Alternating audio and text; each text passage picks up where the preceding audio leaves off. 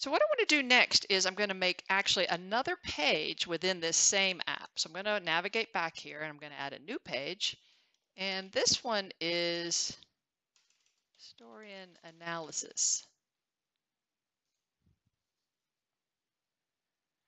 And I'm going to go back to integration, but instead of plant apps, I'm going to go to general. You can see I've got a GE trend card that's already pulling in historian.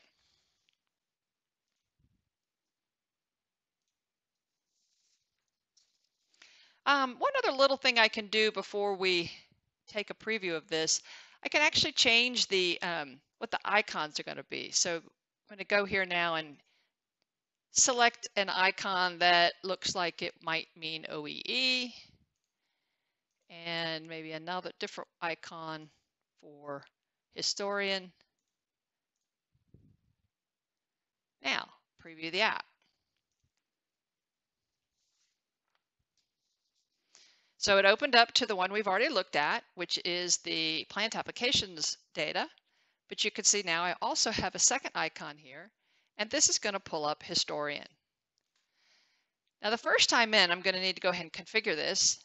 And you can see we could pull from assets or from historian. And I'm just going to go ahead and pull in a couple historian tags so we have something to look at.